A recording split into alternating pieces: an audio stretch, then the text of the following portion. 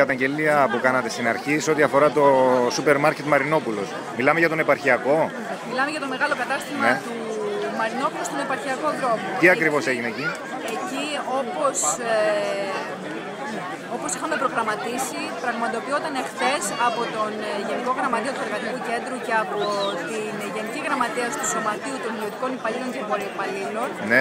εξόρμηση προκειμένου να ενημερωθούν οι εργαζόμενοι για τις ε, εξελίξεις αλλά και προκειμένου να τους καλέσουμε για τη σημερινή συγκέντρωση. Ε, όταν λοιπόν ήταν περίπου, είχαμε τελειώσει πλέον την ε, εξόρμηση, ο διευθυντής του καταστήματος παρουσιάστηκε και κάλεσε τους συνδικαλιστές να βγουν από τον χώρο του καταστήματος και τους απείλησε μάλιστα ότι θα καλέσει την αστυνομία.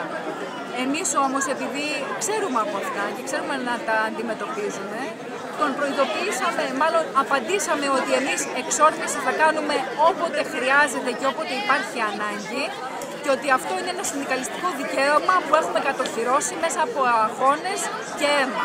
Οπότε κανένας από αυτούς, όπως είπαμε και στην αρχή της καταγγελίας, καλοπληρωμένα τσιράκια της εργοδοσίας δεν θα, απα- δεν θα εμποδίσουν το συνδικαλιστικό κίνημα να κάνει αυτό που πρέπει να κάνει, να ενημερώνει τους εργαζόμενους, να τους οργανώνει και να τους καλεί σε οργάνωση.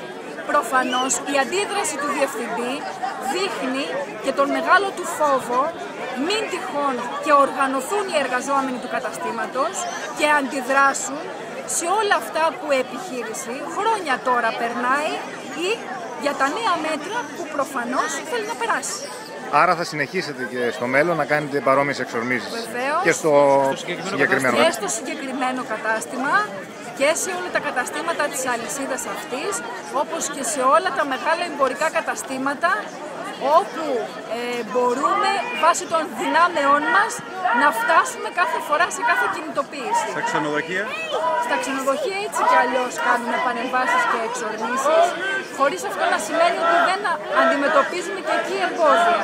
Όμως επειδή όπως είπα και στους συναδελφούς σας από την αρχή, εμείς ξέρουμε από αυτά, δεν είναι η πρώτη φορά που αντιμετωπίζουμε αντιδράσεις, τα αντιμετωπίζουμε, τα απαντάμε και η καλύτερη απάντηση που μπορεί να δοθεί, εκτός από την λεκτική από τους συνδικαλιστές, είναι από τους ίδιους τους εργαζόμενους να οργανωθούν και να συσπηρωθούν στη σωματεία τους.